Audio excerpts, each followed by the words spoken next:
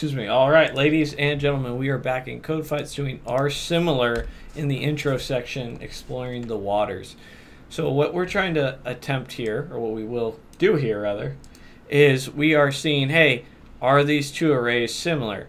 Can we swap two values out and get a, a swap of value in each rather?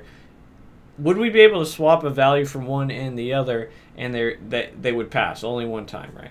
So uh, let's go ahead and uh, get started. The first thing that I did was I found myself coming to a situation in which it would always try and swap something when they were identical, or uh, my logic down below rather. That's that's incorrect. Did not work. So the first thing I did was, hey, if we already start off with something that is equal, and because they're arrays, we need to compare it like so. Um, we're just going to convert them to strings. And if they're already the same, go ahead and return true. No need to have to run through our for loop we're about to do. and when we run it here, our first test will pass. The one, so this uh, this example here will pass and return true. Now, can we swap a value in one with the other and it still be true? That's the next thing we have to do. And in, and in our example here, we can't. But how do we go about that? Well, the way that I did it was I created two arrays and I, when the values weren't equal, I pushed the value into both arrays, and then I reversed it, and I said, hey, uh, is the length of our array 2 or less, and are the strings equal? If they are, then our test case passes, and we can go ahead and return true. If they aren't, return false. So how to, let's, let's go ahead and talk about that. So I just called this var c, since there's a, b, a and b. We create this to an empty array. And then we have var D, and we also set this to an empty array. We're going to end up reversing one later on, the idea being that if they reverse and they're identical, then we can swap them and everything will work. So uh, we'll do our for loop now based off of that logic, where we're going to iterate through A. So we'll say, well, i is less than a dot length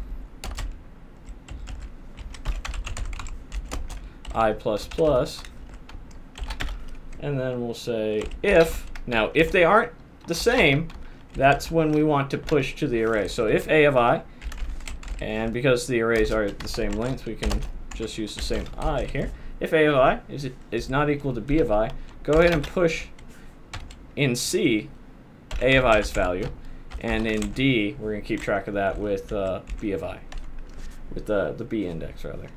So a of i and then d dot push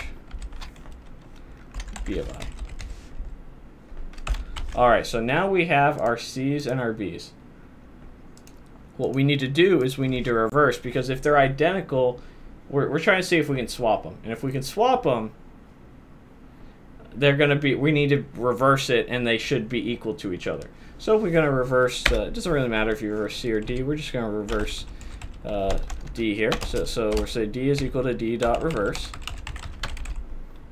And our last statement here is just an if statement that says, hey, is the length of one of our arrays, it could be, again, C or D, I just use C, and is it equal to 2, and are the arrays, now that we reverse C and D, identical when we, when we convert them to a string?